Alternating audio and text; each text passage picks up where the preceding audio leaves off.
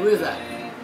Scooby-Doo. Scooby-Doo! Wow, Ellie, did you pick out this? Yeah. What does it say inside? You know what it says inside? Yeah. Watch the water bit.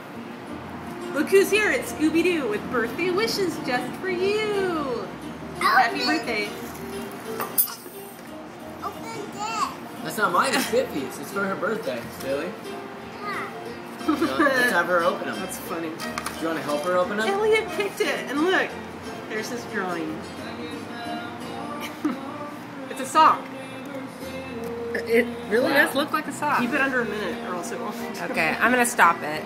Ellie, can you say happy birthday, Biffy? Happy birthday, Becky. Yay!